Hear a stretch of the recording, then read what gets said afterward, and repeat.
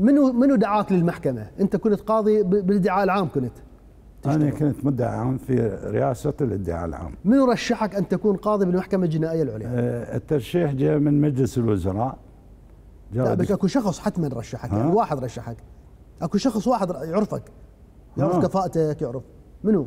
ومو بس أنا وياي قضاة أربعة بالتمييز إيه. ورئيس ادعاء عام واني طيب الكتاب جابه دكتور عباس سعد الله يرحمه مدير الدائرة القانونية كان إيه جاء يم أستاذ مدحت المحمود كان هو رئيس محكمة التمييز. نعم.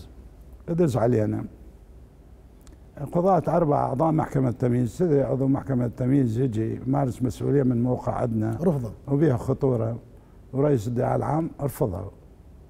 فأنا وافقت. هاي بس دقيقه خلينا نوقف بها خطورة. يعني شو الخطورة بها؟ خطورة يعني قاضي يجي من محكمة التمييز وما عنده كل شيء لا خصومة لا يخاف وتدري الوضع كان آه، يعني سيء في ذاك الوقت. يجي يمارس مسؤولية بموقع عندنا ما ممكن. فأستاذ مدحت قال لي أستاذ عبد الله ترى ترجع علي بعدين من أصدر أمر. قلت له لا أبدا ما أرجع يعني ما شجعك؟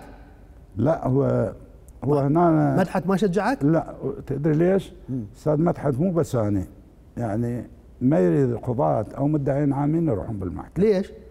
ما أعرف يعني هو من يجي على قاضي يقول هذا مشتغل بالمدني ما عنده خبرة بالجزاء أنا شفت كتب بالمحكمة يعني هو هو هو هو ضد المحكمة لو ما يريد يفرض بالقضاة لا. الظاهر ما يريد يزج القضاة بهاي المحكمة يعني ما مقتنع بها؟ ما أدري عاد هو هذا السؤال له يوجه هو مقتنع أو ما مقتنع أو عنده سبب آخر؟ طيب. ما أعرف. والمحكمة بصراحة أنت كنت متحمس لو كنت متحفظ لو كنت متردد لا أنا أي أمر جاني بالنظام السابق أي شغلة ماكو شغلة بالجزاء ما اشتغلت. وين ما يصير لي لا, لا من جاك من جاك أمر تروح بالمحكمة اللي راح تحاكم صدام. نعم. تذكرت نبوتك؟ لا وقتها ما جت على بالي. زين. أه، تخيلت خطورة الموضوع؟ طبعا بها خطورة. بها خطورة. ليش وافقت؟ ها؟ ليش وافقت؟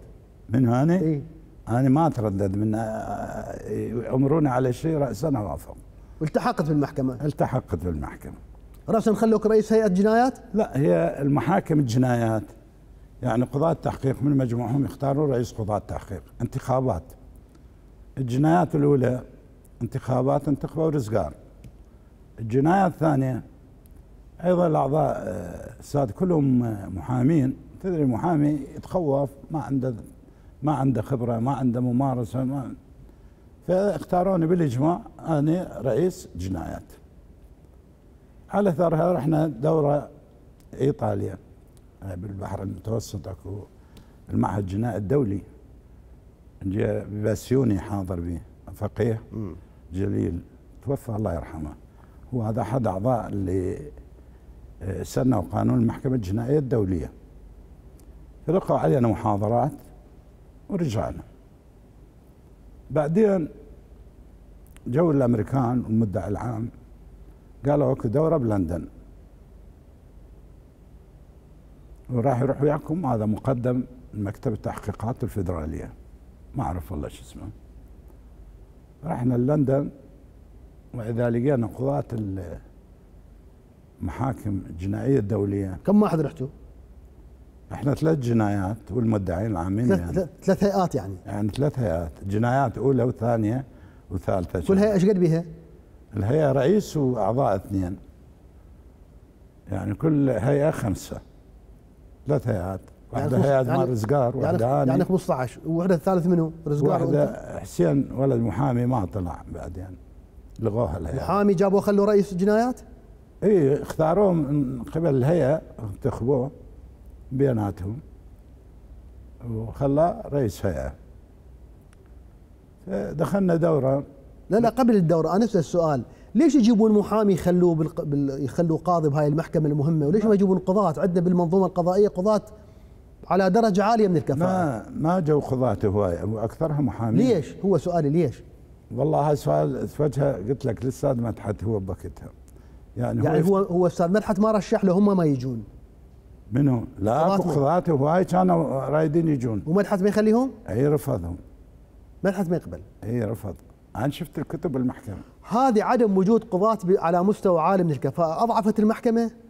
بالتأكيد. أضعفتها مهنيا. وشفت النتائج وسمعتها أنت من خلال لقاءاتك يعني. زين ما انتبهوا الدولة؟ ما انتبهت لهذا الضعف؟ والله أسأل الدولة ليش ما وانت أنت بال- بالبيئة كنت ما أنا أقول لك هو الخلل شنو دكتور؟ الخلل إنه المحكمة ارتبطت بمجلس الوزراء. ما بينها فرق بين المحكمة الخاصة في زمن النظام السابق أيضا هم محكمة خاصة. وشفت قراراتها همينة أكثرها مو صحيحة. هي محكمة خاصة ولا مختصة؟ قول لي جاوب هي بالقانون مختصة بس إذا عمليا. عمليا هي ما تابعة لمجلس القضاء.